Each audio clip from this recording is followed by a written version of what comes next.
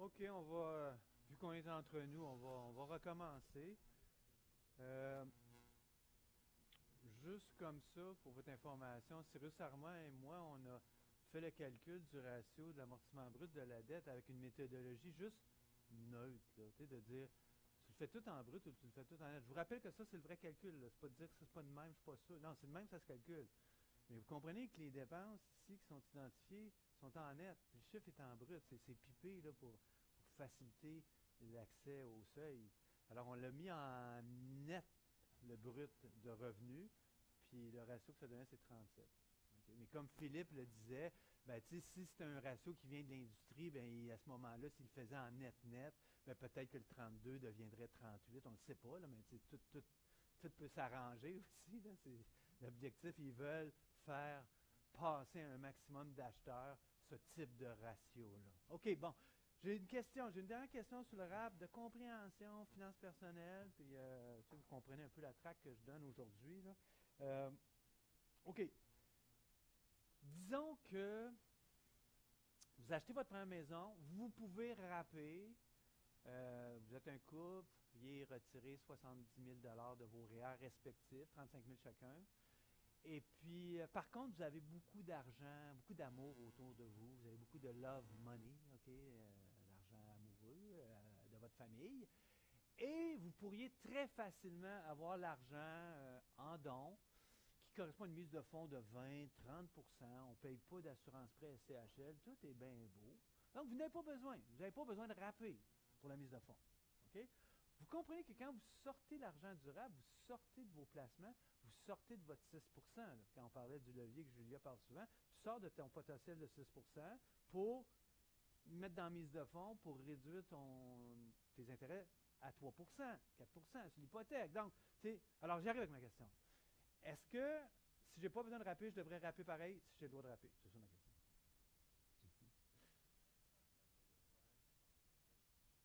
Vas-y, Philippe. Vas-y. Ouais.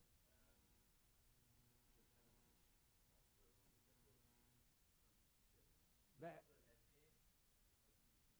Oui, oui. Ouais. Ouais. Tu le rembourserais pas, tu dis?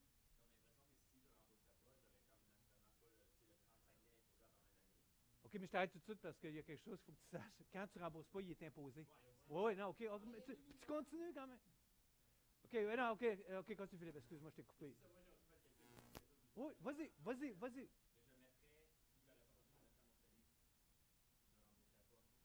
OK, parfait.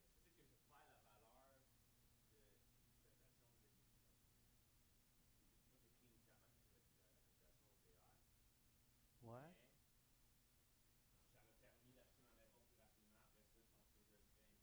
OK, mais là, je veux juste. Ouais, mais là, t'as peu, je veux juste faire un appel à la fois parce que ce que tu me dis, là, tout est plus dans la question. Euh, tout est plus dans la question de, du remboursement. Là. Toi, tu es dans la question du remboursement. Là. Non, moi, ça, tout ça, je veux tout l'arrêter, là, ce bout-là. Non, non, non, la, la question. Parce que là, tu es encore, là, tu veux sortir des abris, tu veux. euh, non, mais je sais que tu irais dans le CELI, mais non, non, je te dis que ça ne marchera pas, ce bout-là. Là, de dire que, tu sais, je suis encore mieux de ne pas le rembourser pour le mettre dans le CELI. euh, non, là, tu redeviens comme. C'est comme si tu. Ben, finalement, tu reviens à dire j'ai toujours mis l'argent dans le CELI parce que tu as une déduction. Puis ta déduction, tu l'as éliminée par la réimposition, donc ça, tu es à zéro comme impact. Puis là, tu l'as mis dans le CELI. Fait que là, si au début, tu pensais que. Non, mais je juste finir. Si au début, tu pensais que c'était mieux de le mettre dans le REER à cause des critères qu'on se dit, là, tu défais cette logique-là. Hein? Par rapport à quoi? Par rapport à que tu, tu rappes? Oui, mais oui, non, mais c'est ça, parce que si ton retour d'impôt, autrement dit, OK, il y a beaucoup d'éléments dans ce que tu amènes, Philippe, c'est intéressant. Je veux juste assez, à ce stade de démêler, c'est que pour de vrai, il y a des analyses plus complexes, c'est vrai. Mais à la base, il faut toujours que tu évalues mieux le REER ou le sais, ça part de là? Puis c'est vrai qu'il y a des forces obscures qui vont te pousser vers le REER et qui ne devraient pas te pousser. Genre le rap des as. De dire, j'ai pas de mise de fonds, je vais me créer une mise de fonds avec mes remboursements. C'est ça que je vous dis, ça, c'est de la boîte. OK? Ouais, vas-y, tu peux. C'est quoi? Oui. Ouais, ouais, ouais. Tu l'as ramassé? Dans ton CELI. Dans, dans le REER? Oui, oui. Oui, oui.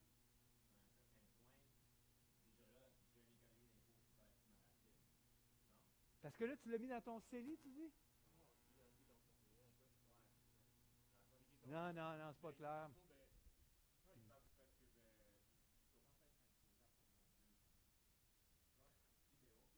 Je vais juste. Non, mais. Non, mais c'est correct. Non, mais je voudrais. Non, non, mais. C'est correct. Je veux juste le reprendre, puis tu me dis quand c'est pas correct ce que je dis. OK? Donc, tu avais. On va dire que c'est un célibataire, OK? Tu avais 35 000 dans ton réel. OK? tu as pris une déduction. Est-ce que c'était une bonne décision? Je te pose la question. C'est une bonne décision de mettre dans le REER? Sais, par rapport au taux d'impôt, ce qu'on se dit, aurais-tu dû le mettre dans le CELI ou REER? Juste curieux. OK? CELI, puis là, tu as décidé d'aller dans le REER. OK? Bon, pas grave, c'est pas grave. On continue l'histoire. OK? C'est important. Fait que tu as mis 35 000 dans le REER. Là, il faut que tu rappes. Ça, il faut que tu le fasses pour ta mise de fonds. Tu es d'accord? Ça, tu, tu dénies 6% de rendement pour réduire une hypothèque de 4% Mais tu n'as pas le choix parce que ça te prend une mise de fonds. Mais je veux que tu comprennes ça. OK? Tu sors un potentiel de 6% d'accord? OK? Pour réduire ton hypothèque, pour réduire l'intérêt à 4% OK, tu as du love money. OK, OK. Fait que là, ta mise de fonds, tu l'as mis. Fait que tu rappes, OK, tu rappes pareil, tu, sors pareil. Oui, OK. Oh, excuse-moi, on a perdu du temps pour c'est de ma faute, c'est pas de ta faute. Oui, c'est ça la réponse. C'est ça la réponse. Parce que ma question, tu répondais à ma question, je pense que tu ne répondais pas à ma question. Non, non, excuse-moi. Excuse-moi, Philippe. tout à fait. Donc, c'est ça. Absolument, absolument. Non, non, oui, tu as absolument raison. je suis content, c'est pour ça que je suis content d'avoir toffé, puis vraiment d'aller au bout, parce que oui, longtemps, il y a longtemps que j'aurais pu abandonner. Puis si on avait été 27, probablement j'aurais abandonné. Mais, euh, mais j'aurais pas eu raison d'abandonner. Donc, c'est ça la réponse. C'est que si je n'ai pas besoin de l'argent, je le retire pareil. Puis là, je fais le meilleur geste de je m'en vais dans mon plan d'action. Qu'est-ce que je fais avec le 35 000? là, là c'est là que si tu le CELI, si tu le REER, pas le REER rembourser le rapport. REER, je recotise pour avoir une déduction fiscale. OK? Ça, c'est la même question. On ne l'a pas conclu, on va le conclure. Mais effectivement, tu retires pareil, puis tu te replaces dans le CELI ou le REER. Absolument. C'est ça la réponse. OK. C'était ça que je voulais. Euh, Pardon? Ben oui, ben oui, c'est ça, c'est ça, c'est ça, c'est ça. Oui.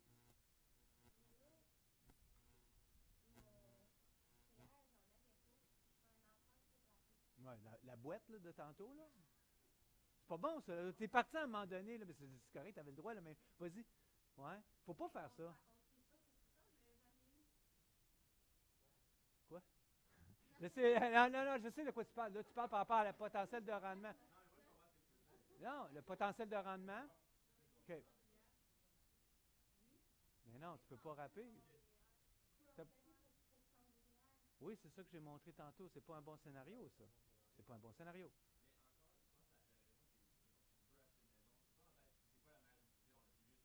Ben non, mais c'est ça qu'on exprime. Non, mais je sais. Non, non, mais je sais, mais tu revois celle-là tantôt, c'est correct. Je, te dis, c'est tout ça que j'explique vraiment avec ce truc-là. la mise de fonds, c'est le remboursement d'impôts. Tu vas le voir, OK? C'est bon. OK, alors, euh, on va continuer avec le régime d'encouragement à l'éducation permanente. D'accord? Donc, au régime d'encouragement à l'éducation permanente, on s'est très, on s'est réchauffé beaucoup avec le RAP, c'est parfait, c'était des bonnes discussions, des bonnes, euh, des bonnes interventions. Juste réaliser que dans le régime d'encouragement à l'éducation permanente, c'est la même logique. C'est un autre portrait, c'est un autre profil, mais ça va être les mêmes logiques qu'on va faire ressortir. À savoir, il y a un régime fiscal, un, régime d'encouragement, qui permet à tous ceux qui font un retour aux études postsecondaires, qui ont déjà un REER. Donc, il faut comprendre, c'est quelqu'un qui a déjà une carrière, qui a déjà, déjà été capable d'épargner, qui a placé dans un REER. Cette personne-là peut retirer, faire un retour aux études postsecondaires, peut retirer jusqu'à 20 000 20 000 quoi? Libre d'impôt, mais il faudra qu'il le rembourse. C'est, pareil comme le RAB dans cette mécanique-là. On t'a déjà donné une déduction fiscale, on permet de sortir 20 000 sans payer de l'impôt, mais quand tu vas le rembourser, ben, attends-toi pas à une déduction fiscale. Bon, tout le monde comprend ça, c'est la même chose que le RAB. Donc, moi, la seule chose que je veux vous dire, interrogation supplémentaire, c'est je vais faire une petite mise en situation toujours pour réfléchir en mode euh, finance personnelle. Alors, disons que c'est moi qui fais un retour aux études. j'ai eu une carrière euh, en comptabilité, j'ai un REER de 100 000, je veux complètement changer, je veux aller dans le système de la santé, je veux devenir infirmier, disons. Puis je fais un retour aux études postsecondaires pour devenir infirmier, puis j'ai 100 000 Bien, ce régime-là me permet de sortir 20 000 okay?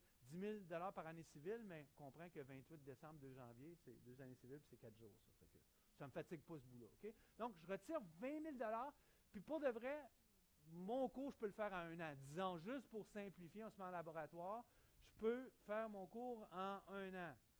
J'ai fait un budget austère, hyper serré, j'arrive à 20 000. OK. Donc, vous comprenez?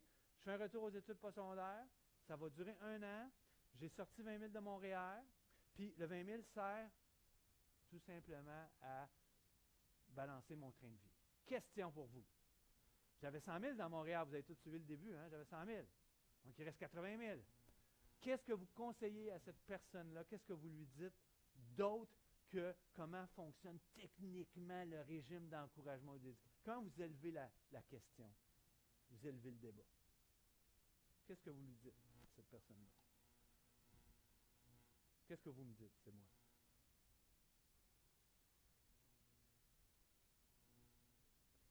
va aller aux études à temps plein. Il ne travaille pas pendant cette année-là. Il ne travaille pas. Il n'y a pas de revenus. Hein? Non, non, c'est pas ça. Parfait. On arrête juste là, juste arrêter de prendre une photo là. C'est trop beau cette photo-là. On sort 15 000 On sort 15 000 là. Vous suivez? il a dit, Philippe, on sort 15 000 J'ai 80 000 dans le REER. Si je sors 15 000 de mon REER, Revenu d'imposition, 15 000 crédit personnel de base, 15 000 zéro d'impôt. Je défiscalise. Je sors 15 000 de Montréal sans payer de l'impôt. Là, je, me sers de ça pour faire quelque chose de mieux. Là. Ça n'a pas rapport avec les remboursements. Alors, chez moi, les remboursements. Remboursement, j'ai sorti 20 000, puis je vais rembourser 20 000 sur 10 ans. C'est là Je sais que je n'anticiperai pas, c'est pas une bonne idée d'anticiper. Puis si j'aurais pas besoin, je le sors pareil. on les a tous dit, c'est la même question que le rap, ça. Mais où que je vois plus loin, c'est je vous dis, tu devrais sortir quand même 15 000. Puis là, je te laisse continuer. Tu voulais peut-être aller plus loin avec ton, ton idée? OK. OK. Mais moi, j'irais juste un plus loin. Je vais, juste poursuivre dans la vague de Philippe. Moi, je n'ai pas de problème. Moi, j'ai un profil où, bon, là, mon exemple d'infirmier, j'étais un peu pris, je n'aurais pas des super gros revenus. Euh, mais vous comprenez que, disons que je vais avoir, je vais être un super infirmier, puis je vais être à 37% de taux marginal. OK? Disons.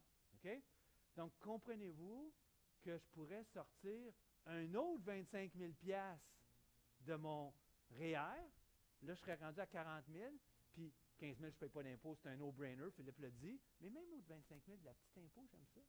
La petite impôt sur, ce 40 000-là, si on regardait l'étape comme tantôt, c'était à 27% M'impose à 27 Puis après ça, je replonge ça, tu sais, je fais des, dans le CELI, c'est tout le temps pour le mettre dans le CELI en attendant.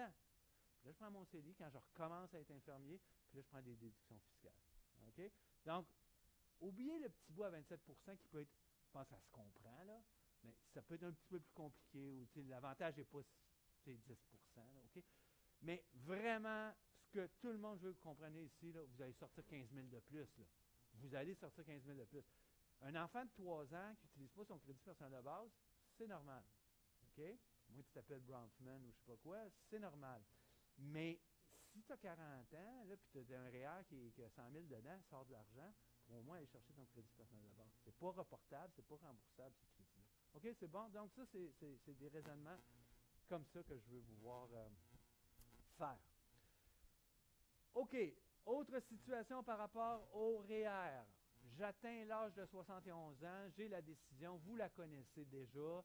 J'ai trois choix je dois transférer mes REER soit dans un fer, ça va être non imposable, ce transfert-là va être non imposable, un roulement fiscal. Je peux transférer mon montant, le convertir en rente viagère. Cette conversion-là est non imposable. Ou je peux vraiment faire la chose à ne pas faire, tout retirer, puis euh, mettre ça dans mes poches ou mettre ça hors abri fiscal, puis on va, je vais m'imposer à 100% alors, si je veux juste revenir sur le fer et la rente viagère, le fer, c'est hyper souple, c'est vraiment une continuité, un prolongement du REER, dans le sens ça fonctionne pareil à la base. C'est un abri fiscal, Quand je vais retirer les dollars, tout va être imposable et je continue à faire ma propre gestion. Quand je dis faire ma propre gestion, ça ne veut pas dire que c'est moi qui va nécessairement décider comment je vais placer mon argent, mais c'est moi et ou mon conseiller en valeur mobilière. Je veux dire, il n'y a personne qui va gérer ça pour moi, qui va me dire, tu n'as pas le droit de retirer plus qu'un certain montant. Je vais avoir une seule contrainte, et c'est ça la seule différence avec le REER, elle est notable, c'est que je dois retirer un minimum de montant à chaque année. Là, je sais que c'est en petit, c'est pas grave. Apprenez pas ça par cœur. Mettez-les même pas sur euh, vos deux feuilles 8,5 par 11 recto verso. Si vous avez à intervenir par rapport à des retraits minimum et maximum dans un fer, ou euh, ben, retrait minimum pour un fer, ou retrait minimum et maximum pour un fonds de revenus viager, je vous donnerai les taux qui s'appliquent. Donc, vous voyez, ça passe à 71 ans à 5,28. C'est quoi ça, 5,28? Ben, tu regardes ton relevé de fer au 31 décembre, l'année où tu as 71 ans, puis s'il est de 1 million, tu dois sortir 52 800 OK? 52 800 C'est beau? Donc, c'est comme ça que ça, se calcule. Euh, donc, le fer, il continue à être souple. La rente viagère, on en a parlé la semaine passée, mais je continue là-dessus, OK? La rente viagère, on se peinture dans le coin. Le fond de le fer, on continue à avoir toute la souplesse. Si je veux retirer 200 000 une année, je peux, s'il y a de l'argent dedans. Si je veux retirer 30 000, je peux, si c'est au moins le retrait minimum. J'ai toute cette souplesse-là. Je continue à gérer. Donc, je continue à être soumis au soubresaut des marchés boursiers si je suis encore un peu en action. Mais bien sûr, à cet âge-là, je devrais être plus en obligation puis en liquidité puis avoir quelque chose de plus conservateur comme portefeuille de placement. Mais la rente viagère, je suis complètement peinturé dans le coin. Je vais voir une institution financière, j'ai 200 000 dans le REER, je lui dis à l'institution financière, combien tu me donnes en rente viagère contre 200 000. Donc, j'ai plus le 200 000. Puis l'institution financière me promet de me donner un montant d'argent X mensuellement jusqu'à la fin de mes jours. Donc, viagère, c'est la racine, c'est vie. Tant que je suis en vie, viagère, OK? Donc, on avait parlé la semaine passée. Je voulais juste vous rappeler ça. Euh, alors, je vous demande, euh, je donne cinq minutes pour répondre à cette question-là ici. J'ai une petite mise en situation que je vais poser en cas après. Je donne cinq minutes ici. je vais vous lire ce qui est écrit en petit, OK? Donc, euh, bon, je vais le lire au complet. Quel est le rendement implicite de la rente viagère proposée par Equitable Life? C'est celle-là, celle à 559 par mois promettent de verser 559 par mois de rente viagère. Considérez la rente mensuelle, 559, une capitalisation du rendement mensuel et des versements en début de mois. Je donne toute cette précision de calcul-là parce que je vais vous poser la question en où, donc c'est un chiffre précis possiblement. En petit, c'est écrit le montant de la rente peut varier d'une compagnie à l'autre. On parle de rente viagère. On voit ici, il y a plein de sociétés financières qui ont proposé des rentes à une soumission. À titre d'exemple, voici le montant mensuel que recevra un homme de 65 ans qui aura apporté un capital de 100 000 pour une rente non indexée sur l'inflation, donc elle ne sera pas indexée, avec une garantie de 10 ans que son bénéficiaire recevra une prestation en cas de décès durant cette période. Donc, comme on l'a vu la semaine passée, ça c'était obligatoire dans un RPA à prestation déterminée et à cotisation déterminée, c'est qu'il faut que la rente soit garantie 10 ans. Alors, si jamais ce monsieur-là prend la rente viagère, décède après 7 ans, Bien, pendant trois ans, l'institution financière va poursuivre les paiements aux euh, héritiers. Alors, je vous demande de faire les calculs euh, derrière euh, le rendement derrière cette rente-là, celle de Equitable Life.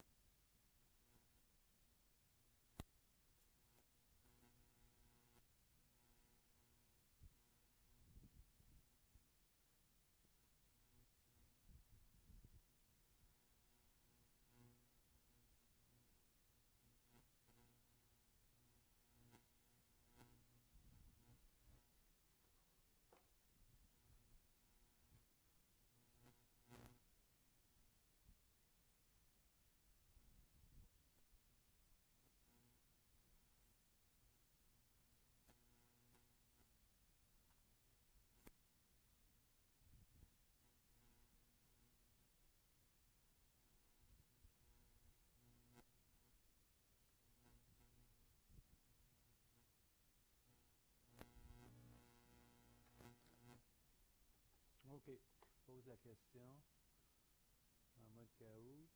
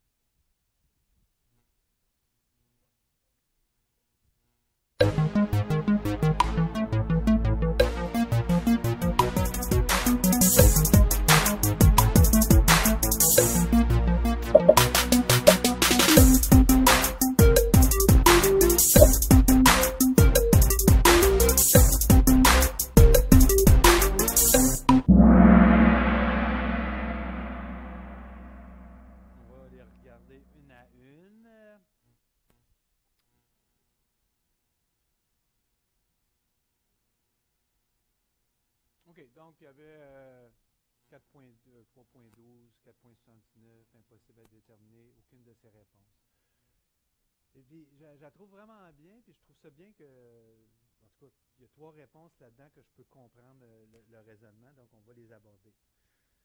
Est-ce que je suis capable de vous convaincre que, puis c'est pas important comment été posée la question, de dire, tu sais, à l'examen, tu sais, je poserai pas des questions à choix multiples à l'examen, peuvent être interprétés de différentes façons, que, que le raisonnement puis euh, le qualitatif aurait pu changer votre réponse. ça va être assez, euh, assez straightforward, comme on dit en, anglais. Ici, c'est une question qui est surtout là pour susciter le débat puis expliquer des choses. OK? Fait on panique pas avec ce bout-là.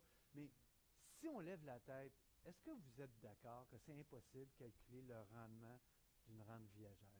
si on y pense. C'est impossible.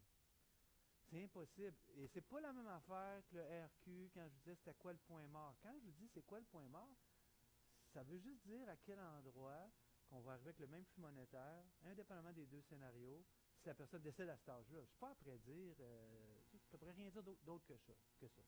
Mais si je vous demande c'est quoi le rendement, là, je vois loin, c'est quoi le rendement, je ne peux pas répondre tant je ne sais pas à quel âge il va mourir. S'il meurt à 105 ans, il va avoir un méchant rendement. S'il meurt de 65 ans quand il achète la rente viagère, s'il meurt à 69 ans, il va avoir un rendement négatif.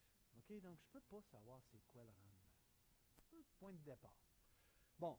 Ceux qui ont marqué 3.12, j'aurais plutôt tendance à dire que vous avez fait le bon calcul, vous avez eu la bonne approche dans la deuxième interprétation que vous pouvez donner, à savoir, quand il vient vous voir, il a 65 ans, cette personne-là, ben on pourrait calculer un rendement espéré, OK, en prenant l'espérance de vie espérée pour quelqu'un de 65 ans, un homme de 65 ans qui serait 85 ans. Donc, quelqu'un qui a fait le calcul avec 100 000 un N de 240, 20 hein, ans, 65 ans à 85 ans, euh, fois 12, euh, puis avec la rente mensuelle de 550 moins 559, il va arriver à 3.12, OK?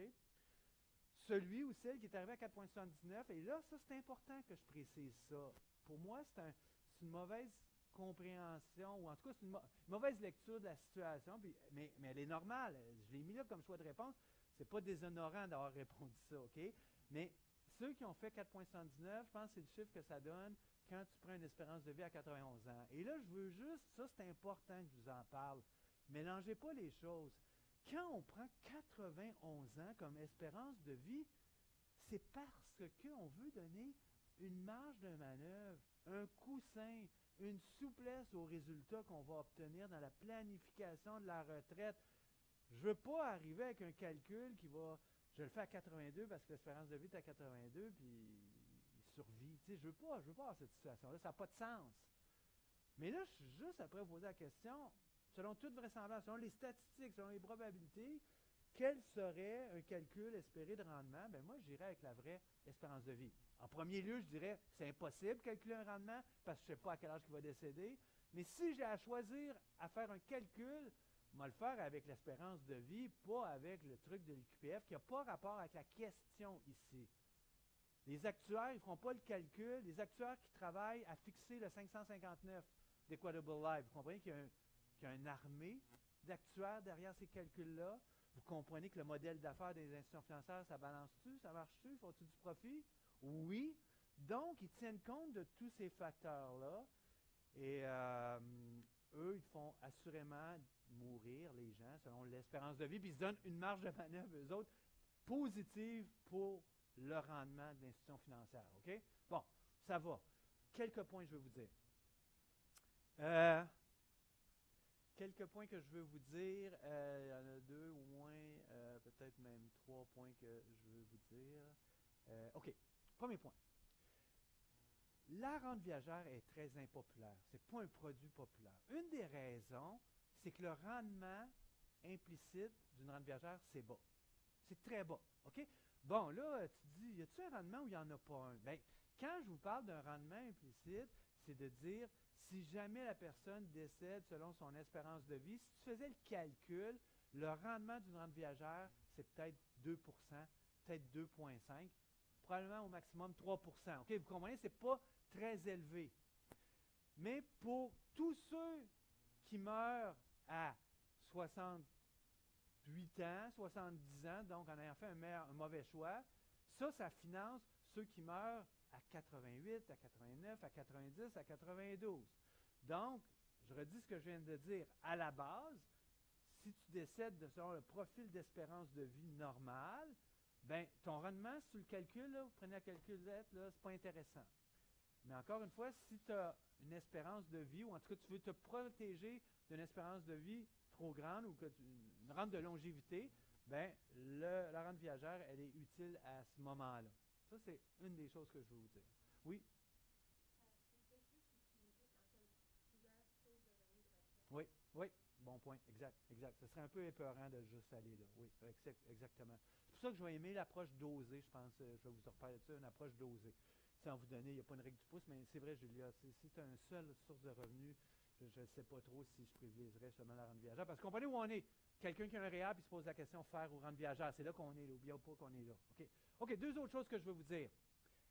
Est-ce que, vous savez, l'assurance vie, ce pas tout le monde qui est assurable? Vous avez déjà entendu ça, on va en parler la semaine prochaine. Je, fumes trois paquets par jour, là, euh, tu vas peut-être avoir la misère de faire assurer. Est-ce que la rente viagère, ça se peut que l'institution financière vous refuse? Est-ce que la rente viagère, ça se peut qu'il vous refuse? Pourquoi?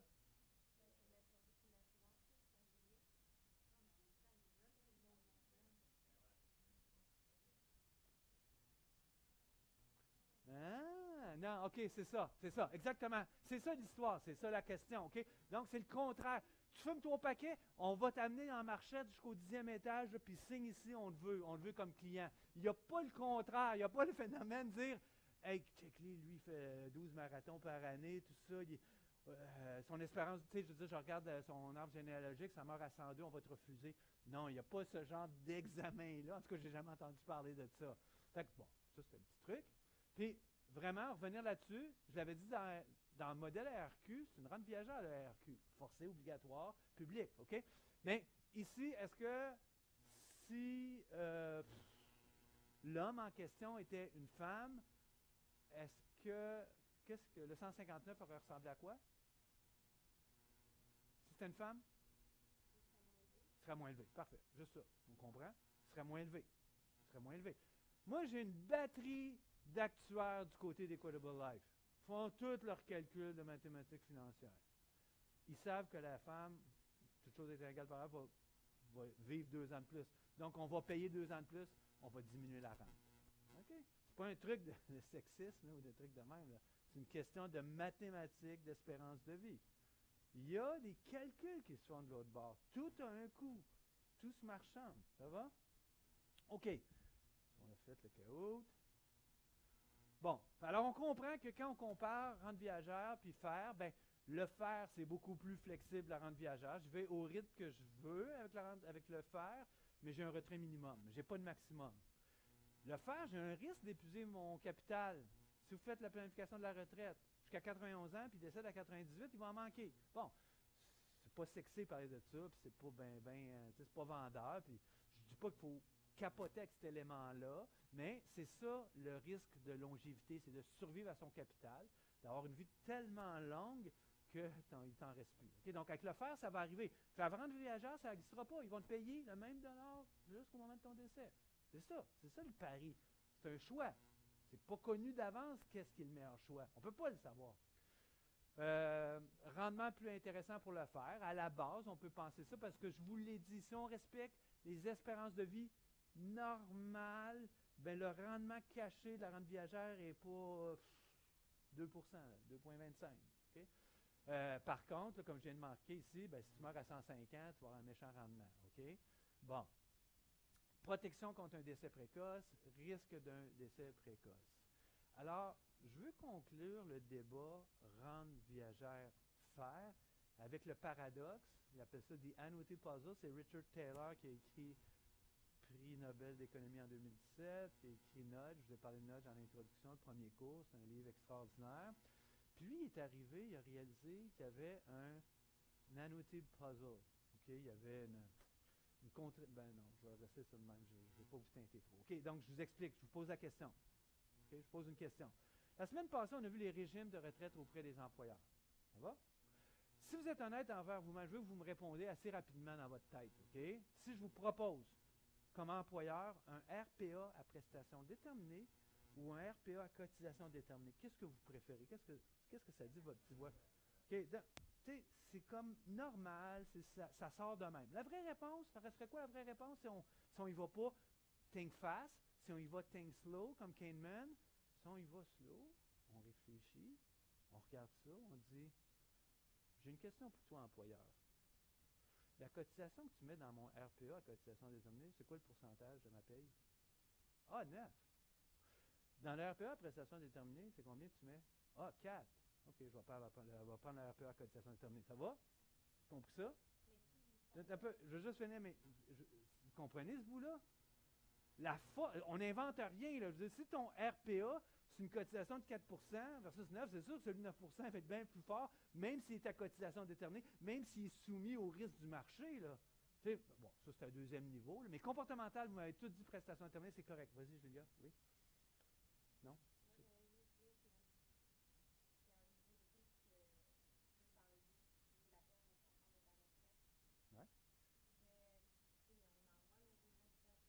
Oui, ah, ouais, ouais. Mais tu sais, d'accord, c'est pour ça que vous avez tous répondu prestation déterminée, c'est parfait. Et tu as compris l'autre point aussi que j'ai dit, que dans le fond, c'est la valeur de la cotisation. Si tu un gros écart entre l'effort de cotisation, là, c'est plus important, la cotisation déterminée ou prestation déterminée. Autrement dit, je vais te dire, l'équation que je viens de te dire, je dis n'importe quoi, 4% en prestation déterminée ou 9% en cotisation déterminée, c'est comme si je te dis, t'aimes-tu mieux avoir 500 000 qui, euh, qui, qui, va s'éteindre, mettons, à. Tu sais, je veux dire, aimes-tu avoir 500 000 ou 200 000 Un est à cotisation déterminée, l'autre est à prestation déterminée. fait que là, l'économique devient plus important. Mais je suis content de vous la poser, cette question mais moi, je voulais aller sur le comportemental. Donc, vous m'avez toutes répondu prestation déterminée. Julia a même renchéri, elle a expliqué que ça donne une sécurité, une assurance on se, on couvre contre le risque, dans le fond, d'une longévité euh, excessive potentielle. OK? Bon, on l'a fait. Maintenant, je vous pose une autre question. J'y arrive.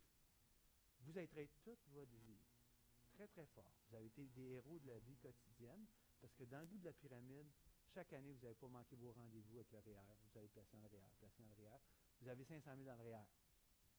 La question, faire ou rendre viagère? Soyez honnête. Faire ou rendre viagère? En tout cas, l'annuité puzzle dit que vous allez dire faire la plupart des gens. D'accord? OK? Vous comprenez qu'on est tous en contradiction ici? On vient tous de se contredire. Ça va? RPA prestation déterminée. On a une assurance. On va nous payer un montant déterminé jusqu'à la fin. Quand c'est mon argent, j'avoue, c'est la même argent, c'est l'argent que j'ai épargné à chaque année tout d'un coup, je suis là, je dis, non, non, non, je ne veux pas ta rendre viagère qui va me payer jusqu'à la fin. Je veux juste avoir de la souplesse sur mon fer. C'est normal, OK? Fait un, juste prendre conscience de ça. C'est amusant. C'est amusant à réfléchir, voir comment on est. on n'est pas hyper rationnel là-dedans. Il n'y a pas de bonne ou mauvaise réponse. Hein? Oui. Parfait, parfait, excellent. Puis c'est ça que tu as dit au début, puis c'est ça. Alors, conclusion, je pense que, et là, c'est pas une règle du pouce, je ne peux pas vous dire un dosage, c'est impossible. On ne sait pas qu'est-ce qui est mieux de faire ou la rente viagère, c'est le décès qui va le dire, OK? Mais de toute évidence, quand on comprend les enjeux, ce serait probablement de faire un dosage, OK? De dire, j'ai 500 000 dans mon REER, e j'ai à me positionner à 71 ans, faire rente viagère. Vous n'êtes pas obligé de tout mettre dans le, le fer ou tout dans rente viagère. Vous pouvez mettre 20% dans l'un, 80 dans l'autre. Peu importe. je pense que ça peut être intéressant d'aborder ça aux clients pour se prémunir contre la rente, euh, le risque de longévité. Donc, c'est intéressant, rente euh, viagère versus le fer. Des plans de discussion, des éléments de discussion, on les a tous faits. On les a tous faits au fur et à mesure. Il y en a juste une que je veux vous poser. Il en reste juste une à discuter. On les a tous discutés, les autres éléments de discussion. Juste vous demander vous savez, en conformité, vous avez appris ça, on peut faire une cotisation REER du conjoint. Hein, vous savez, on peut faire une cotisation REER du conjoint. Si je vous le rappelle très rapidement, tout se passe d'un côté, c'est-à-dire que quand je fais un REER, une cotisation REER de mon conjoint, c'est que c'est mon argent, c'est ma déduction, c'est mon plafond. La seule affaire, c'est que les dollars, quand ils vont être retirés, c'est mon conjoint. OK, bon, vous savez que c'est ça le, raisonnement. Euh, Qu'est-ce que vous pensez de ça? C'est-tu bien? C'est-tu utile? Qu'est-ce que vous pensez de ça, le REER au conjoint? Comme façon de faire, fiscalement. Pourquoi les gens font ça? Oui, mais pourquoi les gens font ça? C'est ça. Donc, c'est pour fractionner du revenu. OK? Ça, c'était extraordinaire. C'était utile quand il n'y avait pas la règle du fractionnement du revenu à 65 ans automatique que tu peux gérer à chaque année avec des petites inclusions, déductions. Parce que la règle que vous avez appris où les revenus de retraite, en gros, à 65 ans, vous pouvez les fractionner moitié-moitié, elle n'existe pas depuis très, très longtemps. Donc, depuis cette règle-là, voulez-vous bien me dire à quoi sert le REER au conjoint? À rien. Parce que tu peux faire la job du fractionnement avec cette règle-là. Ça va? Vous comprenez ce bout-là? Bon, il y a cet élément-là. Si on veut être très, très pointu, ben oui, le REER au conjoint, ça pourrait être encore utile si on pense que cette règle-là de fractionnement pourrait sauter. OK. Parce que la règle du fractionnement de revenus à 65 ans, qui nous permet de dire je fais 100 000, tu fais 30 000, on va avoir chacun 65 000 dans notre déclaration, peu importe où sont les revenus, de où proviennent les revenus, ça, cette règle-là, finances publiques, politique publique, une règle coûte très, très cher période d'austérité, ça pourrait sauter. Et là, les gens qui ont un REER au conjoint seraient bien contents d'avoir un REER au conjoint. ça tient juste à ça. Puis, je prends ma retraite à 60 ans, ben, le fractionnement commence juste à 65 ans. Fait que là, avec le REER au conjoint, je pourrais commencer avant. là, on est dans le pointu quand on parle de même. Retenez plus que ça a perdu pas mal, pas mal de son attrait. Et surtout, à ne pas faire, par qui le REER au conjoint? Dans un couple, quel genre de couple qui ne devrait jamais faire de REER au conjoint? Son intègre du juridique? Conjoint de fait, fait pas ça. À moins que tu aimes vraiment, vraiment les sensations fortes, fais pas ça. Vous comprenez que REER au conjoint, tu es marié, il n'y a pas de risque. Il y a un divorce, on met tout le pot du patrimoine ensemble pour on divise 50-50. Fait que, que le REER soit dans le conjoint ou dans le mien, ça ne change rien. Conjoint de fait, je m'excuse, le conjoint de fait dans lequel tu as cotisé son, REER part avec le REER, c'est correct, ça, mais là, toi, peut-être c'est pas ça le résultat que tu aurais souhaité. Bon, c'est juste de vous mettre en garde par rapport à cet élément-là. Pardon? Oui? Ben non, ben wow, là, ça serait l'injure à l'insulte, ça serait mettre du sable, euh, du sel sur la plaie. Je veux dire, euh, c'est l'autre qui retire l'argent. en plus, ça t'envoie la facture d'impôt, là. Mais c'est correct, mais je veux dire, non, non, c'est définitivement celui qui le retire. Parce que dans le contexte de conjoint de fait, tu comprends que, tu sais, mettons qu'on exagère l'exemple, puis on dit, année après année, ça a donné 200 000. Ça. Donc, une personne a cotisé 200 000 au de son conjoint, tu as mis 200 000 de ton argent, il y a une séparation, tu n'as rien, puis l'autre va recevoir 200 000. C'est ça l'enjeu. Fait que là, il ne faudra pas y envoyer la facture en plus. OK. Ça, on a parlé, ou on va en parler après le, l'intra, on va parler des impacts au décès, l'impôt et décès. On reviendra sur le REER. Divorce, on sait que ça fait partie du patrimoine familial, le REER. Alors, ce qui nous amène au CELI. Alors, je vous parle de la mécanique du CELI. La mécanique du CELI, c'est hyper simple. Il n'y a pas d'impôt nulle part. OK? Ce qui va être intéressant, c'est de comparer au REER. Mais à la base, le CELI, là, il n'y a rien à dire autre que ça ici. Il y a un plafond maximum. À chaque année, on ajoute 6 000 au plafond du CELI. Quand je vous dis que le plafond maximum en 2020 est rendu à 69 500, ça veut dire la chose suivante. C'est que le CELI est en vigueur depuis 2009. Des plafonds CELI, tu les accumules à partir de l'âge où tu as 18 ans.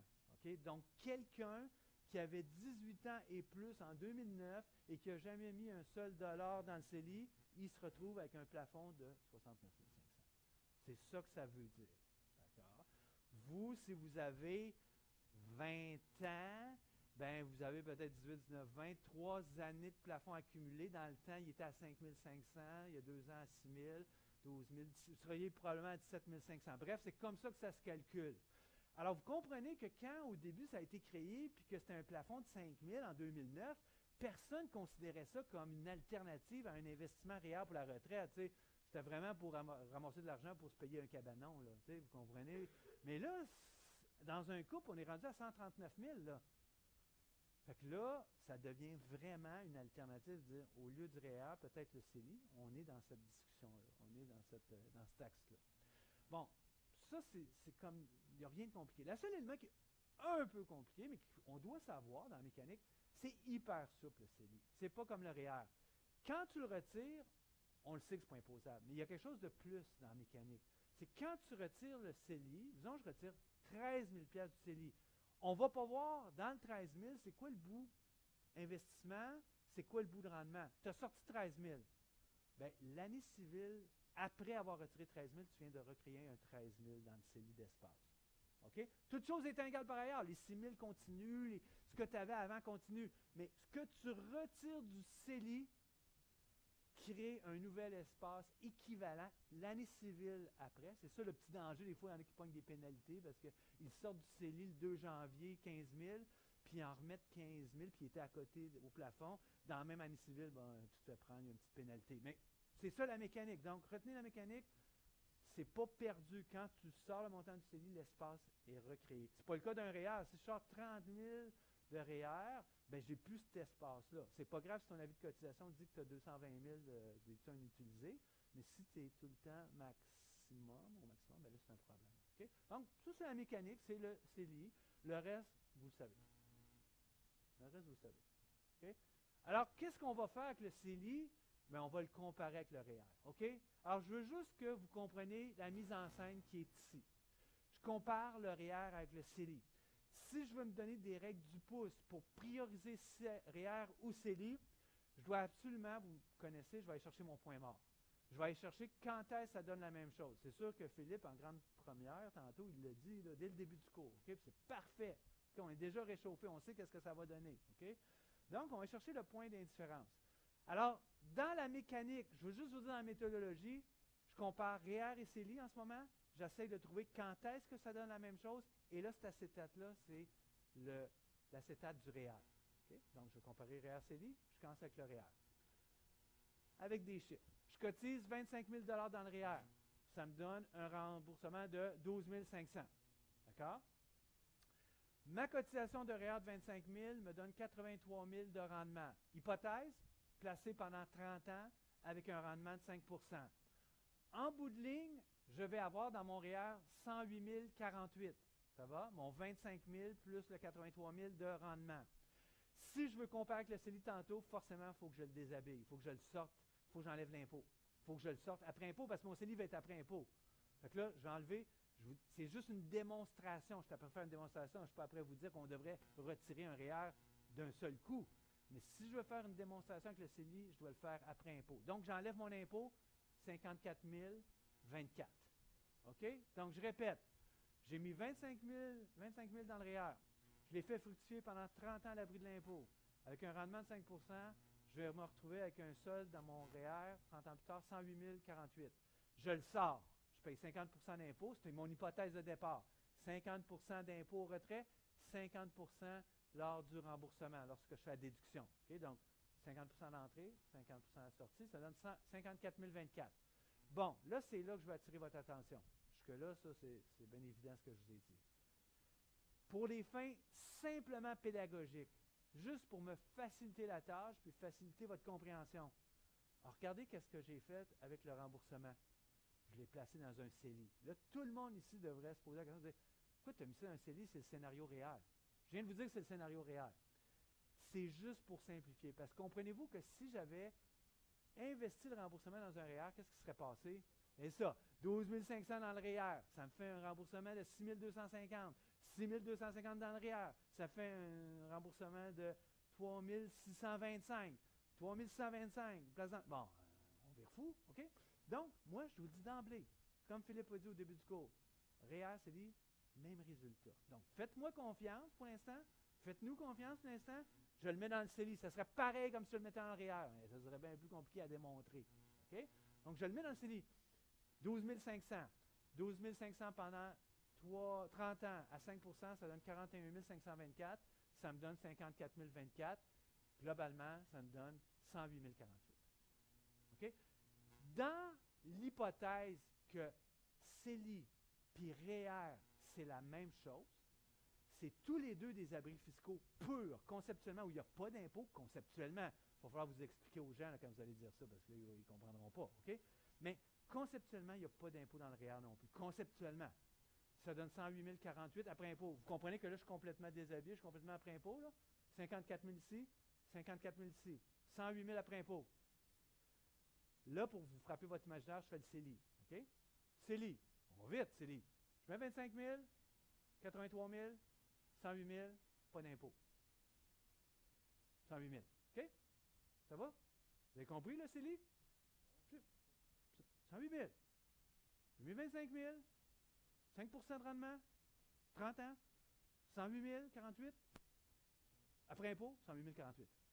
Oh, c'est puissant ce qu'on vient de démontrer là. Je viens de faire le CELI, on est tous d'accord, CELI, il n'y a pas d'impôt. Pas juste conceptuellement, en conformité, il n'y a pas d'impôt non plus, tout le monde est d'accord? 108 048. Scénario réel, 108 048. Force est d'admettre. Oui, oui, je vais y arriver. Seconde. Force est d'admettre que c'est un abri fiscal pur aussi, le REER, si ça donne le même résultat. Force est d'admettre. C'est comme ça que vous expliquez aux gens REER CELI. Pas dire Ouais, t'as peu le REER, il est déductible, le CELI, il n'est pas déductible, le REER, il est imposable quand tu le retires. Non, vous allez ennuyer les gens, et les gens vont rien comprendre. Ils vont rien comprendre. Vous n'allez jamais être capable d'expliquer si vous expliquez de même. Si vous le démontrez conceptuellement comme ça, bien là, c'est clair. C'est clair que c'est un abri fiscal pur. Il y a d'autres façons de le présenter. Eric euh, Brassard, dans, j'ai fait une petite lecture, il le présente un peu différemment. C'est la même idée. Donc, deux points très, très importants. Ce que Julia a mentionné, hyper important. Pour que l'équation fonctionne, pour que ça soit vrai, c'est sûr qu'avec le remboursement REER, tu replaces ça dans le même portefeuille de placement. Dans un REER ou dans le CELI, là, moi je l'ai fait dans le CELI juste pour simplifier la calcul, là, Mais il faut que tu le replaces, sinon l'équation est brisée. Donc, REER, CELI, qu'est-ce qui est mieux? Quand tu vas dans le comportemental de la chose, tu peux dire, fais attention au REER, parce que là, tu vas avoir quelque chose au mois de mai, tu as comme 10 000 pièces qui va arriver, puis tu vas virer fou avec ça. Il faut que tu le places. Ah, OK, le comportemental est super important dans l'histoire. Donc, Julia, ce qu'elle a dit, c'est majeur. Première chose, c'est cet élément-là. Puis l'autre, c'est ce que Philippe a dit au tout début du cours. Ça, c'est pareil, c'est indifférent, point d'indifférence, quand le taux d'imposition quand je cotise est égal au taux d'imposition quand je retire. Là, vous avez la règle quand c'est pareil. C'est bon? Apprenez pas ça par cœur. Es capable d'expliquer ça à un client, démontrez-le. Donc là, là REER c'est pareil. On est convaincu? Ça va? Bon, le reste, c'est des académiques. Si on, a compris ça, on sait ce qui s'en vient après dans mes exemples. Donc, les exemples qui viennent après, c'est quand est-ce que le REER est mieux, puis après ça, quand est-ce que le CELI est mieux. Mais vous savez déjà la réponse. On va juste le faire avec des chiffres. Alors, avantage REER, vous comprenez, ça c'est l'acétate 1, là? Vous le voyez, 108 000 après impôt, c'est ce qu'on a fait tantôt, là, OK? J'étais à 50 là, j'étais à 50 là. Quand est-ce que j'ai un avantage REER sur le CELI? CELI ne bougera pas de là. Ça va donner 108 048 toujours. C'est le même exemple. Donc, si je retire à 35 si mon taux d'impôt à retraite est plus bas que mon taux d'impôt dans ma vie active, puis souvent c'est le cas, OK? ben là, ça va donner un avantage. Regardez, je vais juste changer les chiffres. De 124 255 moins 108 000. Donc, avantage. REER, c'est un calcul avec un 25 000 de cotisation isolée, là. Ça donne quand même un gros écart. Je sais que c'est 30 ans plus tard, mais quand même, c'est juste sur 25 000 de REER. Il y a un avantage. C'est l'exemple d'économie d'impôt que je vous ai fait au début aussi. Bon, l'avantage du CELI, ben, c'est le suivant. C'est que tu déduis à 35% vous êtes en début de carrière, vous faites 40 000 puis quand vous allez euh, être à retraite, vous allez être en dollars d'aujourd'hui plus à 80 000 disons.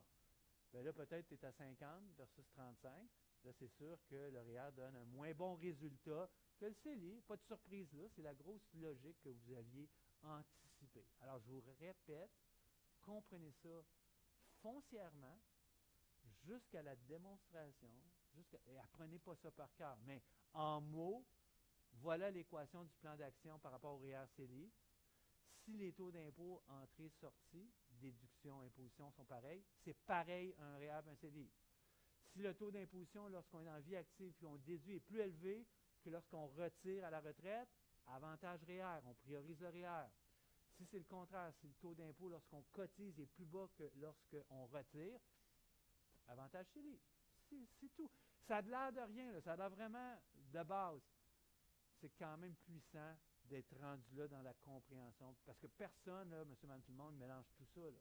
C'est comme ça que ça se résume. Ça se résume à quelque chose d'aussi simple que ça. D'accord? C'est Eric Brassard, la première fois, qui a, euh, à, mon, avis, présenté la chose de la façon suivante, puis qui a dénoué l'impasse de dire un est déductible, l'autre n'est pas déductible, un est imposable, l'autre n'est pas imposable. Ça dit rien, ça. Ça, ça dit quelque chose. OK, cette étape-là, vous pourrez la regarder, mais c'est une variation de tout ce que je viens de dire. C'est juste de montrer que la provision que j'ai mise dans mon remboursement va faire une provision d'impôt pour quand que je vais l'encaisser. C'est la même idée. C'est pour montrer la défiscalisation du REER. C'est pour démontrer qu'un REER, c'est conceptuellement un abri fiscal pur si le remboursement, je le réinvestis et je ne le mets pas dans le train de vie. C'est ça. OK. Pour l'examen, la compréhension, l'idée, c'est ça. C'est tel que je viens de vous le présenter. OK? Mais dans vraie vie, pour vos amis, pour votre famille, pour vos clients, pour vous, l'analyse de comparer les taux d'impôt, cotisation REER versus retrait, ça ne se fait pas avec l'impôt sur le revenu. La vraie vie, c'est pas l'impôt sur le revenu. Fait que là, là, je vais vous débalancer un peu. Certains d'entre vous êtes peut-être au courant avec ce principe, ce concept-là. Là, je vais vous débalancer un peu. Mais juste vous dire, c'est pour vous sensibiliser pour l'examen. Pour le cours, c'est correct. On va rester avec l'impôt sur le revenu. Il y a quand même déjà assez de défis. Mais dans la vraie vie, quand je compare cotisation réelle, c'est quoi le taux? Retrait réel, c'est quoi le taux? Il faut que j'y aille avec le TOMI. Taux effectif marginaux d'imposition. Marginal d'imposition. C'est quoi ça le TMI? OK, on s'explique. On est dans une société avec des filets sociaux, avec des programmes sociaux qui sont très présents. D'accord?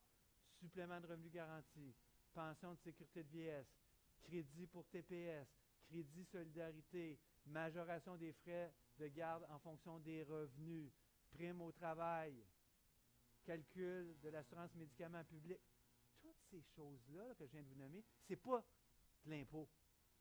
Tout ça, ce n'est pas officiellement de l'impôt. Tout ça, ce n'est pas dans les tables d'impôt fiscalité UQTR. Mais si on élargit la définition d'impôt au concept suivant, si on dit que l'impôt, c'est tout échange d'argent, de flux monétaire entre un contribuable puis l'État, qui varie avec le revenu imposable, si on dit que c'est ça la définition de l'impôt, bien là, c'est plus juste l'impôt sur le revenu. Quand je gagne une pièce de plus, ça se peut qu'on diminue mon allocation familiale pour enfants. Si je gagne une pièce de plus, ça se peut qu'on coupe ma pension de sécurité de vieillesse quand je suis à 79 000 et plus. Si je fais une pièce de plus, ça se peut que mon supplément de revenu garanti soit coupé de 50 Vous comprenez l'idée, là, tout ça, là? Mais ça, c'est le TEMI. Et c'est la vraie vie. Et c'est là qu'on entend des choses comme ça à la radio, pas juste à la radio, parce que c'est vrai, si je fais de l'overtime, puis je fais 100 pièces samedi prochain, je je vais perdre 93 pièces avec le gouvernement. Il va me rester 7 pièces dans les poches. Ah ouais, c'est vrai. Famille, trois enfants mineurs, revenu familial entre 35 et 60 000. Pas beaucoup, 35 et 60 000, mais à quoi vous pensez que ça sert des, des, des politiques sociales, des programmes sociaux? C'est pour aider les moins bien nantis. Donc, quand on a un État socialisant, c'est correct, c'est des choix de société, mais il faut s'attendre à des choses comme ça. Mais ça, c'est compliqué pour monsieur, madame, tout le monde à saisir, puis à voir, puis c'est dommageable. Honnêtement, c'est dommageable. Alors, ça, c'est Tommy-là, ça a été mis de l'avant pour la première fois par un prof de l'UQAM qui est à retraite, qui s'appelle Claude Laferrière. Je l'ai eu comme prof. Euh, et on appelle ça les courbes de Laferrière. Donc, ce qu'il a fait, c'est plus lui qui est fait maintenant, mais c'est fait à chaque année, OK? Il prend 40 scénarios. Puis, il va chercher pour chacun des scénarios quel est le vrai taux caché, quel est le taux effectif marginal d'impôt. C'est-à-dire, si je fais une pièce de plus, elle est à combien? Quand je calcule toutes les crédits que je perds, les programmes sociaux que je perds, ben regardez ça. J'ai trouvé le top ici. Ben, c'est mon 93. Un couple, deux revenus, 60% 40% c'est-à-dire un des conjoints fait 60% du revenu, l'autre fait 40% Trois enfants, un seul moins de 6 ans, frais de garde de 9 500. Regardez ici. À 45 000, ou en tout cas, de ce bout-là, là, entre 50 et 55 000, il est là, votre 93 Mais regardez tous les points, là. Ça, c'est tous des taux marginaux, là. T'es, mis 65% 70 55 45 regardez, ça, c'est l'impôt sur le revenu. regardez à quel point que ça ne donne pas la vraie, l'heure juste. Ça, c'est la vraie vie. C'est de même qu'il faudrait, pas l'examen, là, vous en avez assez, Je peux vous demander de parler un peu de TEMI. Ça, se peut. Je ne demanderai pas de faire des calculs d'optimisation. Mais là, comprenez-vous, là, ben là, ça dépend toujours comment. Qu'est-ce que tu veux dire, paye tout? Ça, c'est la classe moyenne, ça? Qu'est-ce que tu veux dire?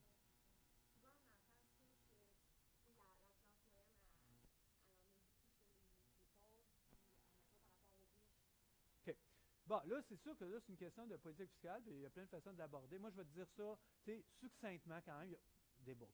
Quand je vous le dis, je vous le répète, quand il y a des gros taux comme ça, c'est pas, pour moi, c'est compliqué, ça fait des résultats dysfonctionnels, mais c'est pas, euh, comment dire, c'est pas, euh, c'est pas une honte. C'est pas, ça n'a pas d'allure.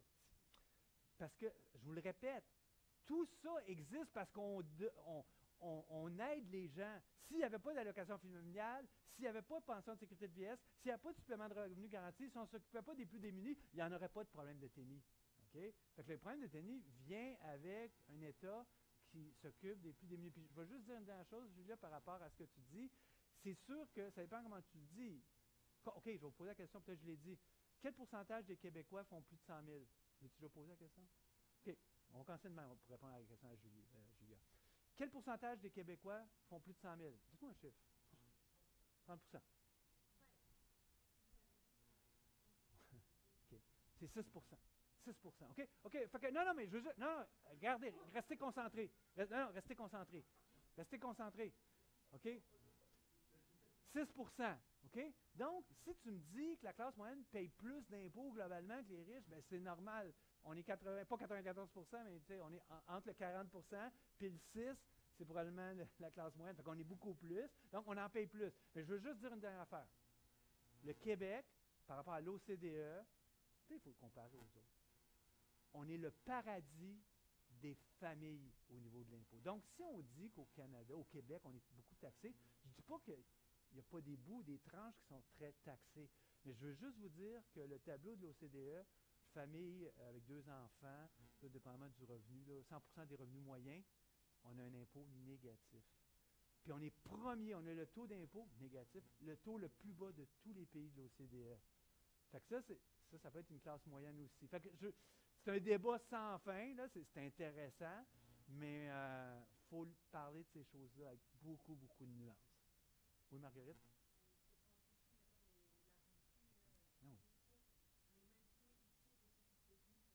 c'est sûr, c'est sûr, c'est sûr, c'est sûr, c'est sûr. Ils ont droit au banc, oui, c'est ça, c'est ça.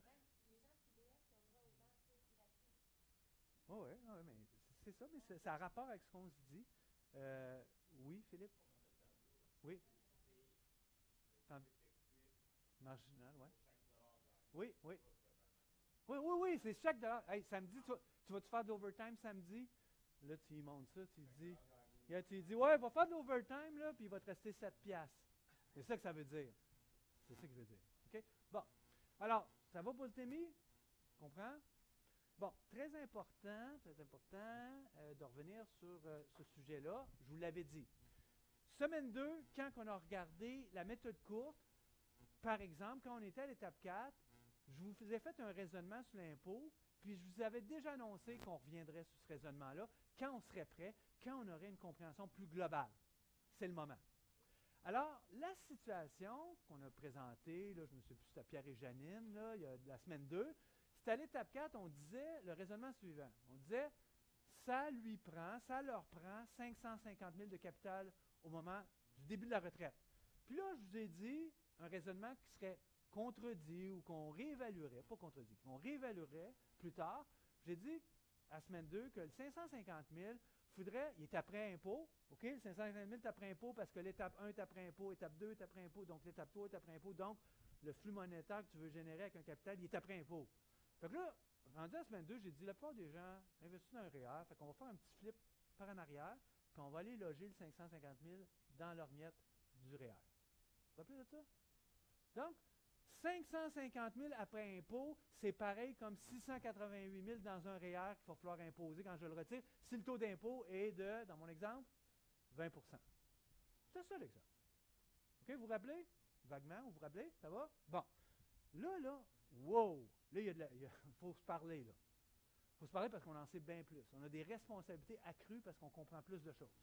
OK? Qu'est-ce qu'on vient juste de se dire par rapport au REER? C'est quoi notre conclusion par rapport au REER? Hein, Audrey, c'est quoi la conclusion par rapport au REER? là? Parfait, parfait. OK? Donc, la petite histoire que faut remettre ça dans le REER, il faut remettre ça avant impôt, je peux le laisser à 550 000, il n'y a pas de problème. Il n'y en a pas de problème. Il n'y a pas de problème.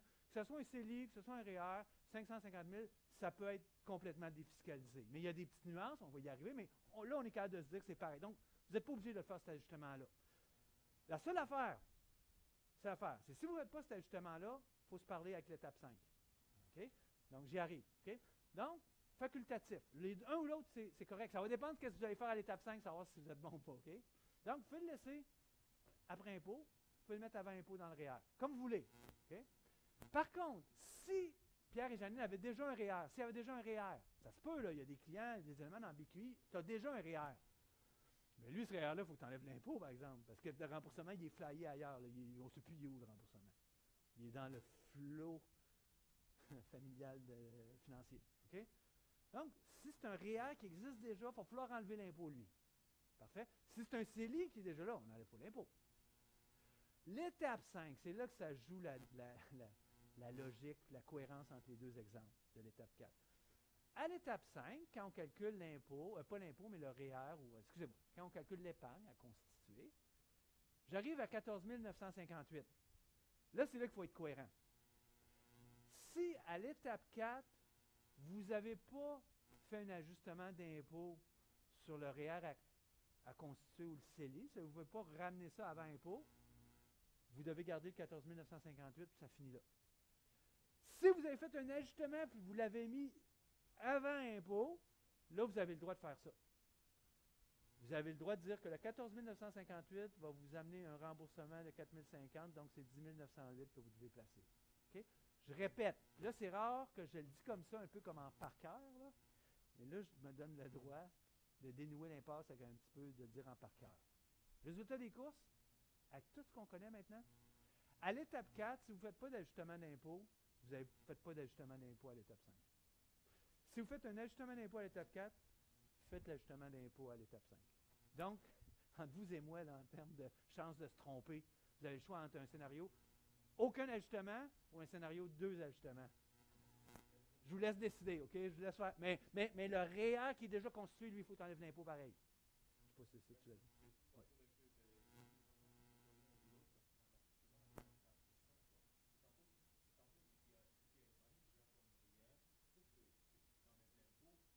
Oui, ce que tu as déjà épargné. Ce que tu as déjà épargné, oui.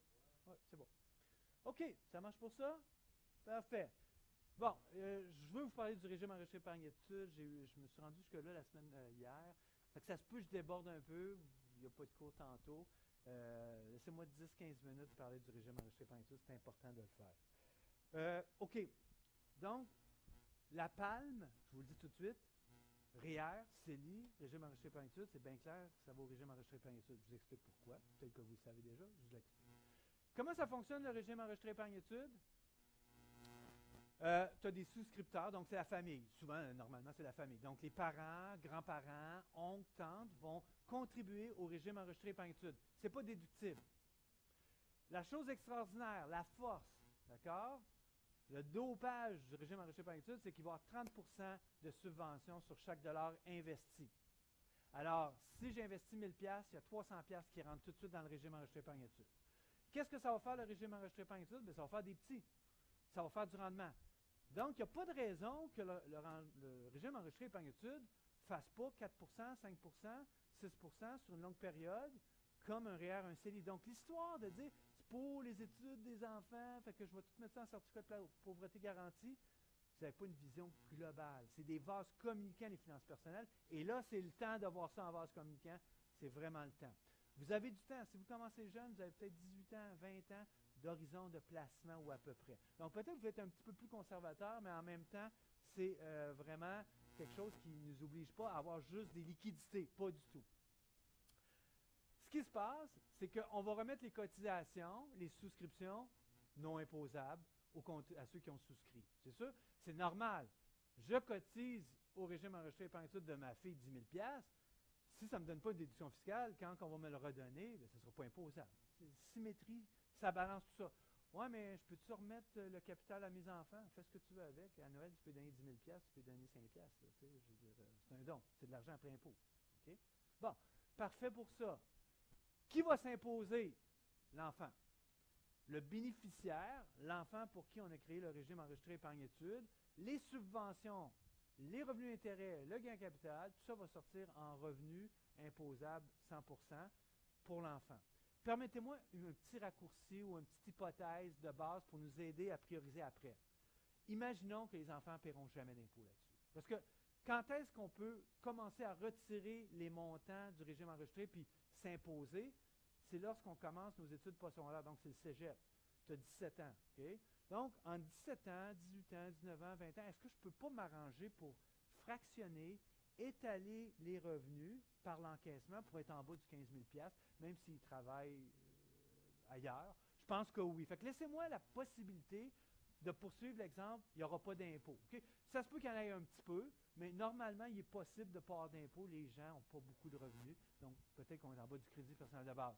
Donc, est-ce que vous comprenez tout de suite que le débat il finit là, dans le fond? Quand je fais REER versus CELI, je viens de clore le débat. Je viens de le clore. REER égale CELI, on l'a dit? OK? Ici, régime enregistré par étude égale CELI. Pourquoi? Ben, c'est pas déductible, c'est pas imposable en sortant parce qu'on va le fractionner avec des enfants, ta, Mais il y a des stéroïdes dans celui-là, il y a 30% de subvention.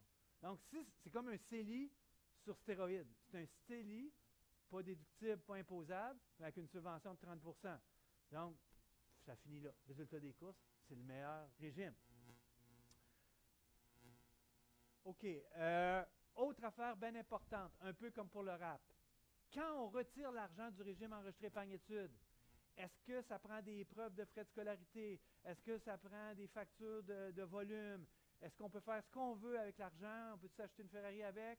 On peut s'acheter une Ferrari. C'est des vases communicants. Ça fait bien longtemps qu'ils ont compris ça, l'ARC et tout ça. Donc, c'est des vases communicants. Vous comprenez? Donc, tu n'as aucune preuve. La seule affaire, il faut que tu sois aux études postsecondaires. Première année, première session, études postsecondaires, sors 5 000 maximum. Pas des souscriptions. Les souscriptions, tu sors quand tu veux, puis c'est pas imposable. Mais dans les subventions pour les revenus, jusqu'à 5 000 Deuxième session, tu sors le reste si tu veux, tu peux attendre. OK? Fractionné. Donc, entre vous et moi, c'est quoi le worst case scénario? Il n'y en a pas de worst case scénario parce que moi, mon flow, je vais dire, tu vas t'asseoir au cégep pour au moins un an, il n'y a pas de frais de scolarité. Moi, je vais retirer le régime études, puis tu ne paieras pas d'impôt. On ne paiera pas d'impôt. Parce que le pire scénario, il n'est pas si pire. C'est pour ça qu'on peut vraiment le mettre comme un véhicule de retraite. Le pire scénario, c'est l'enfant ne va pas aux études postsecondaires. Qu'est-ce qui se passe? Bien, les subventions sont perdues. OK, on revient à un CELI. OK? Les revenus peuvent être transférés au REER des parents. Parfait, ils ne sont pas perdus. Puis la souscription est remise aux parents parce que c'est normal. Donc, ça redevient un CELI. Donc, je suis prêt à vous dire que le pire scénario, ça redevient un CELI, mais vous pouvez peut-être conserver les subventions en. Et là, je suis un peu cow-boy, là, permettez-moi de le faire un petit peu folklorique. Ben, c'est pas un gros effort, là, faire une année au cégep. C'est pas comme dire, ils vont faire un doctorat. Là. Fait que, ouais, c'est un peu ça. Là, je suis enregistré, faut pas trop. sais, non, mais vous comprenez l'idée que c'est pas trop compliqué de sortir cet argent-là. Là, OK? Puis il n'y a pas de piste dessus, là, dire qu'est-ce que tu as acheté avec.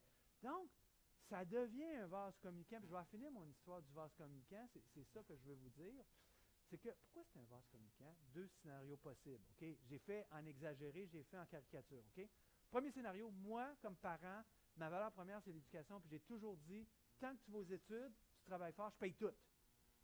Donc, si je paye tout, que je le paye avec de l'épargne dans un REER, de l'épargne dans un CELI ou de l'épargne dans un régime enrichissement épargne on s'en fout. J'ai juste à choisir le régime qui va me donner le plus d'argent. le régime qui me donne le plus d'argent, c'est le régime enrichissement par études. Parce que c'est un CELI avec 30% de subvention. Puis un CELI, c'est comme un REER. Un REER, c'est comme un CELI. Puis un REER, c'est comme un régime enrichi par études. C'est pareil. Fait que, les vases communicants. L'autre exemple, là, il est cowboy. L'autre exemple, il est cowboy. Mon enfant, je l'aime, j'ai donné des bonnes valeurs, tout ça, l'éducation, mais je ne paye rien. C'est connu depuis 14 ans, tu vas tout payer tes études. J'ai quand même contribué à son régime enrichissement par études. J'ai tout expliqué, là, ce que je vais vous expliquer. Ça prend beaucoup de confiance, ça prend une bonne compréhension, ça prend. Il faut être détendu par rapport à ça. Donc, ce que je ferais, je cotise quand même au régime enrichissement par études. Puis là, quand il arrive aux études postsecondaires, je dis à mon flot, à ma fille, à mon garçon, de sortir les subventions, les revenus, graduellement pour ne pas payer d'impôts, qui me remettent l'argent. Parce que, c'est ça que je veux vous dire, ça appartient vraiment aux enfants. Si l'enfant décide de faire volte-face, de non, c'est à moi cet argent-là, n'y a rien, tu peux rien faire, ça finit là. Mais je veux juste vous dire que si jamais il y a une compréhension, une bonne entente, une capacité de discussion par rapport aux choses financières, puis que l'enfant comprend aussi que c'est un, un, vase communicant qui fait que s'il a choisi le meilleur véhicule avec une subvention, bien, en bout de ligne, ça fait ça de plus au décès, à l'héritage. Si on regarde en phase communicant, j'ai juste à choisir qu'est-ce qui est mieux. Donc, c'est pour ça que tous les chroniqueurs, Daniel Germain, Pierre-Yves McSween, Stéphanie Grandmont, euh, tout le monde perçoit ça, le régime enrichi par études, pas comme un outil pour les études, pour un outil de retraite, au même titre qu'un REER puis euh, un CELI. Ce sont des vases communicants. Mais ça, c'est complètement contre-intuitif. Je vous compte ça, puis il y a plein de gens qui ne le voient pas, c'est correct. Je vous le dis, des vases communicants, je vous le répète. Si j'étais pour payer les études de mes enfants, c'est l'exemple le plus clair. Si j'étais pour payer, que je le prenne dans le RIER, que j'en prenne dans le CV, je vais le prendre où, je devrais le prendre où le, véhicule qui a le plus d'argent, qui va fructifier le plus. C'est le régime enregistré avec la subvention. Ça, ça va faire que je vais avoir, j'aurai pas à piger dans le RIER, je n'aurai pas à piger dans le CELI. Que je n'ai pas pigé dans le CELI, qu'est-ce qu'il fait? fait des petits pour la retraite. Vase communicant, toute la même affaire. OK, je suis obligé quand même de prendre cinq minutes. Je vous remercie de, l'attention. Il faut vraiment que je prenne le temps de vous expliquer les règles d'optimisation. Pour vraiment compléter le plan d'action puis la priorisation par rapport euh, aux différents choix qu'on a. Par rapport au régime enregistré par étude, il y a quand même pas mal de petites règles techniques de priorisation. OK, il y a une règle magique. Les gouvernements ne vous verseront jamais plus, ben jamais. La règle générale ne vous versera pas plus que 750 de subvention. Puis là, écoutez comment je le dis, là. Par année, par enfant. OK? Donc, il y a comme un plafond fédéral-provincial ensemble. Je vous ai montré tantôt, fédéral c'est 20, Québec c'est 10, ça fait 30. Donc, globalement, par année, par enfant, la règle générale, les gouvernements ne vous verseront pas plus que 750 de subvention. C'est quoi le chiffre magique de cotisation? 2500. C'est? Donc, on ne devrait pas, en mode règle générale, on ne devrait jamais dépasser 2500 par année par enfant. Si j'ai de l'argent de plus, va-t'en dans le REER puis le CELI. Parce que là, il devient comme un CELI. Il vient comme un CELI qui peut t'embêter. Va-t'en dans le CELI. Rendu là. Ça, c'est de base. Première règle, première couche. ça va se complexifier, OK? Première couche. Ça va pour celle-là? Vous la comprenez? Bon, il y a d'autres plafonds. Maximum de subvention, je vais juste prendre le plafond fédéral, c'est la même logique, 7200. Donc, si vous faites 7200 divisé par, 700, euh, divisé par 500 pièces, parce que là, c'est juste le fédéral que je calcule, ça donne 14,4. Bref, tu pourrais cotiser pendant 14 années, 2500 pour ton année, puis tu maximiserais ton, ta subvention. Parce que c'est tout le temps l'histoire de la subvention. Si je n'ai pas de subvention, je ne veux rien savoir du régime enregistré par je retourne en arrière puis en CELI. OK? Donc, d'habitude, c'est rare les gens qui sont sont un peu maximisés, là, qui sont plafonnés là, mais ça existe. Les gens qui ont vraiment compris, c'est du sérieux, là. Ils mettent pas de l'argent en arrière, puis ils le mettent vraiment dans. Tu sais, je vous compte ça, vous pensez peut-être que. Ouais, je comprends, mais je ne ferais pas vraiment ça. Non, non, les gens font ça, là. Ils mettent ça dans le régime enregistré par étude plutôt que dans le REER, à cause de ce que je vous explique, que c'est des vases communicants. Bref, on serait il y aurait un maximum de 7200 sur les subventions globalement pour un enfant, par enfant. Autre plafond, ça c'est le plafond le plus bête. J'ai un exemple dans, le volume, juste montrer l'erreur la plus grossière à ne pas faire. Le maximum, c'est 750 par année, par année, par année par enfant. Donc, c'est des cotisations de 2500 par année par enfant. Si tu reçois un héritage de 50 000, ne va pas foutre 50 000 tout de suite dans le euh, régime enregistré par étude. Tu vas recevoir 750 de subvention pour 50 000 ou peut-être 1500, je vais vous expliquer ça tantôt. Mais vous allez juste recevoir, puis là, vous venez de couillonner complètement vos capacités de subvention. C'est fini, là. Ce qu'il faut faire, comme dans l'exemple du volume, c'est que tu prends 50 000, tu mets 2500 dans le régime enregistré épargne études. L'autre, 47 500, tu le mets dans le CELI. Puis à chaque année, tu mets 2500. OK? Parfait. Ça va jusque-là? Parce que là, j'arrive avec la règle un petit peu plus complexe. OK? C'est-à-dire, il n'est jamais trop tard pour bien faire, ou presque, presque jamais trop tard, que le régime enregistré épargne-études. À savoir que s'il y a une année que vous n'avez pas cotisé au régime enregistré épargne-études de votre enfant, donc vous n'avez pas eu la subvention, vous pouvez rattraper une année. Rattraper toutes les années. Mais c'est une année à la fois. Donc, si je prends connaissance du régime enregistré épargne-études comme étant la panacée, comme étant le meilleur véhicule de placement, quand mon enfant a 8 ans, bien là, à 8 ans, je ne suis pas obligé de mettre juste 2500. Je mets 2500 pour l'année, puis je rattrape l'année 7 en mettant un autre 2500. Donc, à chaque année, je peux rattraper une année où je n'ai pas eu de subvention, mais une année à la fois. Hein? Oui, là, je, vais y arriver. Je n'ai pas fini. 16-17, c'est notre histoire. OK? OK? On continue de même.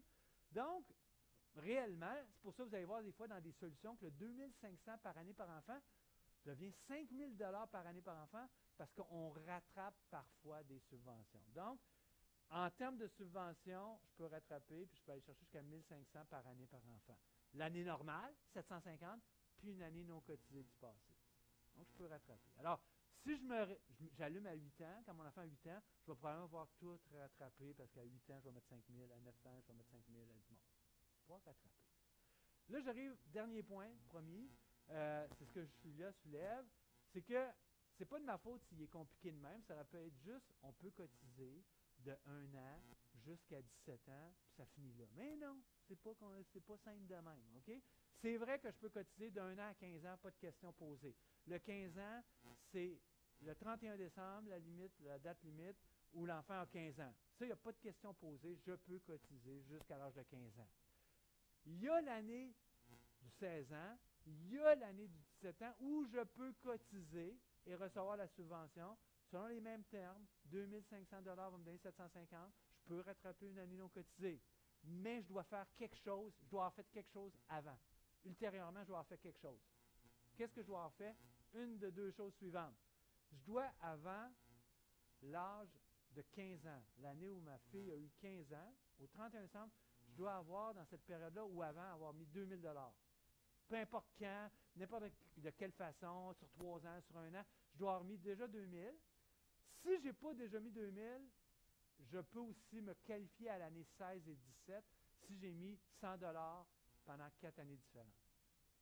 C'est une bizarrerie, c'est une règle qui alourdit la chose, qui complexifie, mais il faut la maîtriser. Donc, quand je dis qu'il n'est jamais trop tard pour allumer, c'est de dire, comprenez-vous, j'entends ça, ma fille, cette année, en 2020, avoir 15 ans. Fait que là, j'allume, je dis, OK, j'ai jamais rien mis là-dedans. C'est quoi le plan de match? C'est avant le 31 décembre de cette année, je mets 5 000. Fait que j'ai compris que c'est pas, j'ai le droit à mettre juste 2 000. C'est-à-dire, juste le 2 000 ferait la job. Mais là, j'ai compris que c'était le meilleur placement possible. Fait que je mets 5 000. J'ai ma subvention sur 2 500. Je rattrape une année antérieure. Je mets 5 000. Ah, ça ouvre 16. Je mets 5 000. Ça ouvre 17. Je mets 5 000. Voilà. OK? Ça fait beaucoup euh, en accéléré, surtout qu'on dépassait le temps. C'est pour ça que j'allais un peu vite, mais je vous remercie. Puis euh, c'est là qu'on était rendu aussi à Drummondville. Fait qu'on va poursuivre, mais on a fait l'essence de tout ce qu'on voulait voir aujourd'hui. Alors, je vous remercie beaucoup. Puis on se voit la semaine euh, prochaine.